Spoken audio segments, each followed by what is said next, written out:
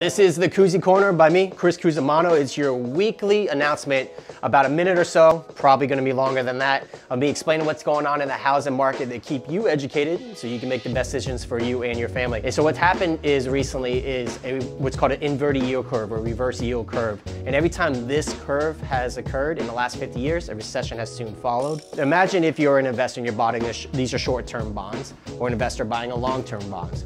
Well, you would imagine a long-term bond will yield you more on your investment than a short-term bond, so the curve typically rises. Well, it has flipped, meaning that you make less money on a long-term bond and more money in a short term, so the curve went down. How does that make sense? How do you make more money on a short-term bond than a long-term bond? Well, basically it's supply and demand. When more people or investors are buying long-term bonds, the prices increase. When the prices increase, you make less money on that bond. And vice versa, if no one's buying short-term bonds, that means the prices go down and you're making more money on your investment. So why are these investors buying up long-term bonds if it's gonna make them less money?